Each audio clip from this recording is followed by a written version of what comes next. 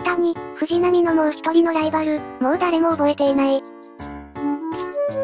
誰やこいつ？鈴木誠也ちゃうんか？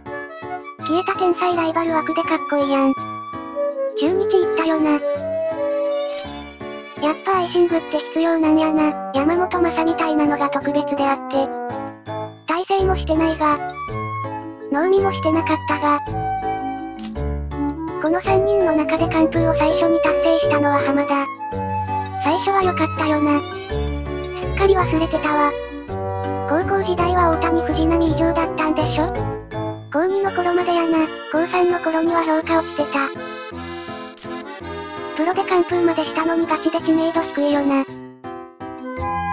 ご視聴ありがとうございました。よかったらチャンネル登録よろしくお願いします。